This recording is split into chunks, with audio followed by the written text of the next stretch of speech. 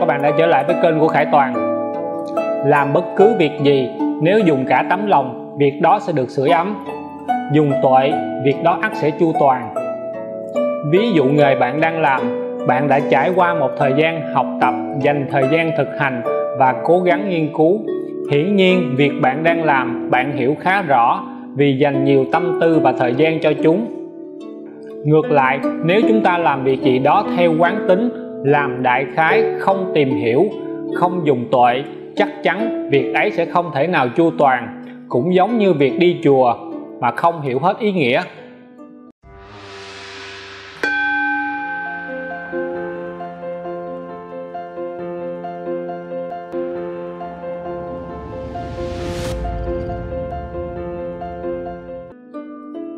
Người Việt đi chùa vào các ngày rằm hoặc ngày đầu năm nhằm cầu may, cầu an, suy nghĩ về một năm qua, cầu bình an cho gia đình và mong muốn năm mới suôn sẻ. Có người thì đơn giản hơn, chỉ tìm cảm giác bình yên của đầu năm mới. Có người thì muốn đón lọc đầu năm. Đây là những ý kiến Khải Toàn đã khảo sát thực tế. Khi đến chùa vào các dịp lễ, rất đông người đi viếng. Khi thắp hương bái thần Phật, mọi lời cầu nguyện cho sức khỏe, bình an, được phát tài, nhiều may mắn và cả tai qua nạn khỏi, có cả người cầu tự cầu duyên. Những lời cầu nguyện này liệu có được hồi đáp? Thêm vào đó, rất nhiều người vẫn băn khoăn, vừa cắm nén nhang vào vài giây đã có người quơ tay rút tất cả nhang ra bỏ đi.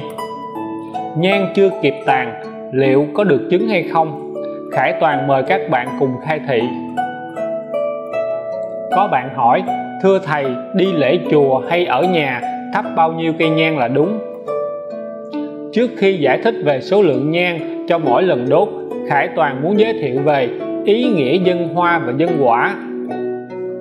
Dân hoa đại diện cho vô thường, hôm nay hoa đẹp nhưng sẽ sớm tàn, cuộc đời vốn vô thường, có sinh ắt có diệt.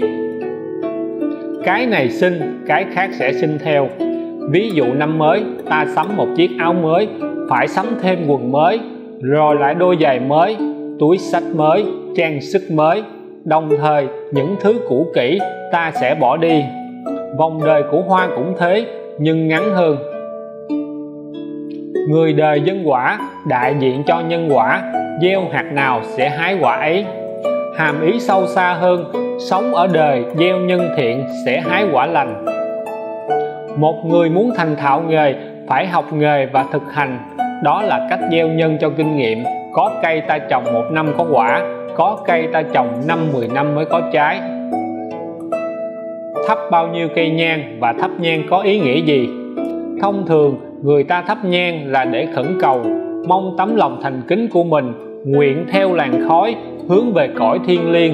Nên có câu, nguyện đem lòng thành kính, gửi theo đám mây hương người Việt đa phần chọn số lẻ 1357 lúc thắp nhang nhưng cũng có trường hợp người ta đốt cả nắm mà không chú trọng vào ý nghĩa của con số này. Phổ biến nhất vẫn là ba nén nhang. Ba nén nhang có các ý sau đây.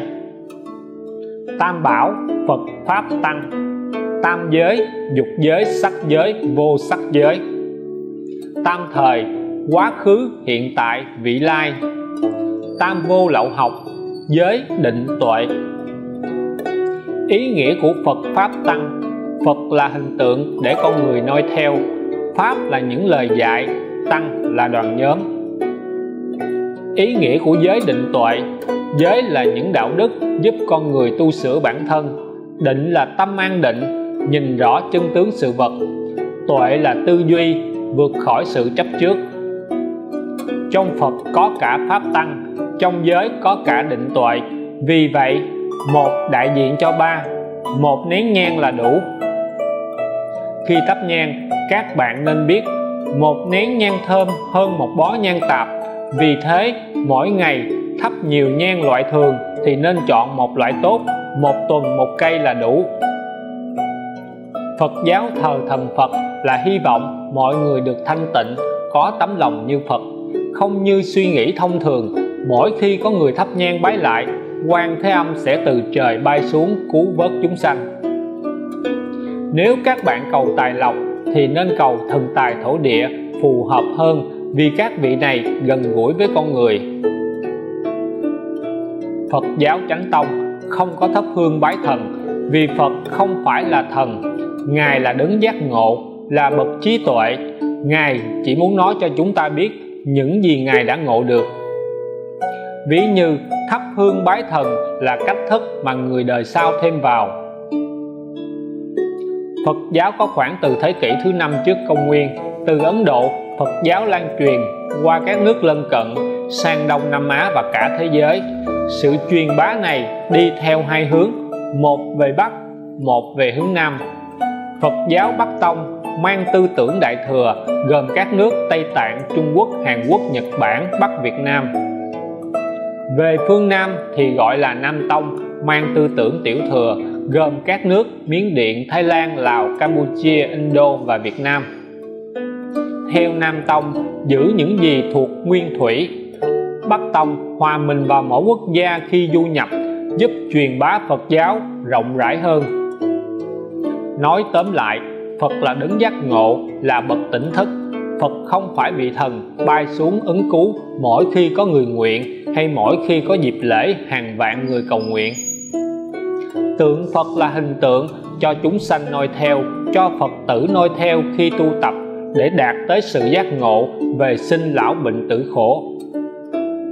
Nghe đến đây, hẳn mọi người nghĩ rằng, chẳng lẽ những lời cầu nguyện trước giờ của tôi không tới tay Phật hay sao? Tôi đi chùa không cần thắp nhang hay sao? Không hoàn toàn như vậy bước đầu, các bạn đã có cơ duyên đến với Phật Pháp. Đây là một sự hoan hỷ. Nếu các bạn tìm hiểu thêm về Phật Pháp, sẽ gia tăng niềm tin, từ đó sẽ gia tăng phước duyên. Đi chùa là buông bỏ, để lại tham sân si bên ngoài. Khi vào trong chùa, sao cho tâm an tịnh? Nhưng không ít người không có được sự an tịnh này, nhất là các dịp lễ đông người chen lấn có những ngôi chùa khi vào chánh điện phải cởi dài để bên ngoài, vừa vào quay ra lại mất tiêu. Bình yên đâu không thấy, chỉ thấy đi chân không về. Đi chùa cũng là dịp các bạn bố thí. Ví dụ khải toàn có những gia chủ đến chùa tìm sự bình an, đến khung cảnh chùa cảm thấy lòng mình thanh tịnh là những điều thiện lành. Bạn có thể cầu nguyện bất cứ điều gì giúp cho tâm an tịnh nhưng tâm là của bạn. Muốn đạt cảnh giới an tịnh, ngay cả khi không vào chùa, phải đạt được sự giác ngộ. Trước đây, mỗi đêm 30 Tết Khải Toàn thường đi vài cảnh chùa thắp hương cầu nguyện, tìm sự bình an. Sau khi học Phật thì thói quen ấy không còn nữa. Thay vào đó, mỗi sáng đứng trước bàn thờ tại gia để nguyện.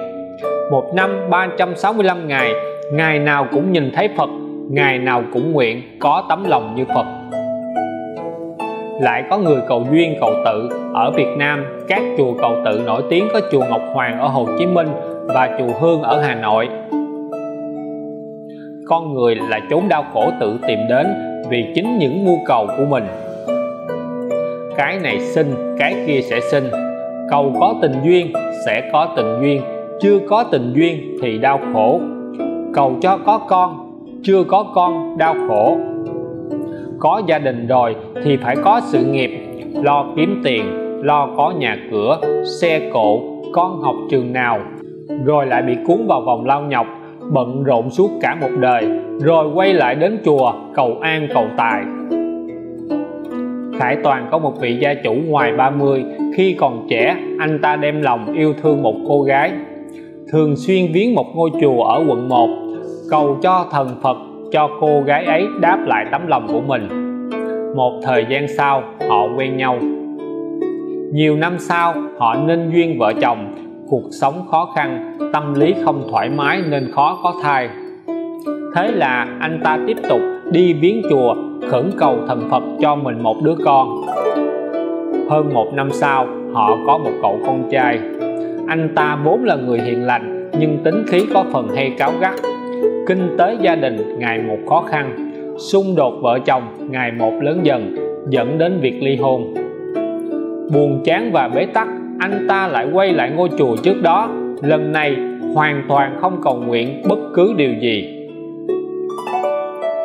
Khi hiểu được Phật là đứng giác ngộ, người đi chùa có thể thấy thắp một nén nhang hoặc không cần thắp nhang, đứng trước tượng Phật nguyện cho mình có trí tuệ như Phật.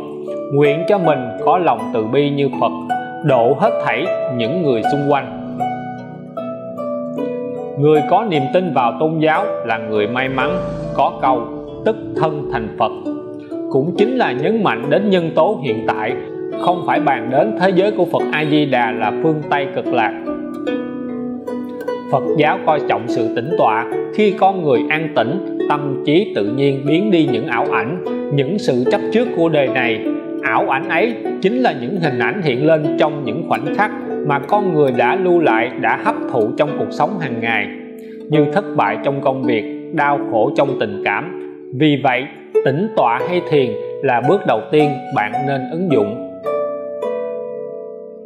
Theo thuyết nhà Phật, tiền bạc và sức khỏe của bạn ở kiếp này liên quan đến kiếp trước đầu tư vào Phật Pháp sẽ được hồi báo hậu hĩnh.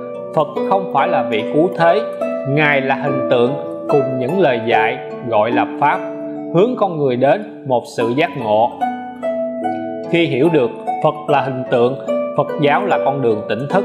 Người đi lễ chùa có thể không cần thắp nhang. Khi đến chùa, chủ yếu tìm sự bình yên.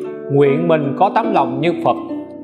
Nguyện noi theo, giới định tuệ làm được như vậy, bạn đã đạt đến cảnh giới tâm không phân tướng.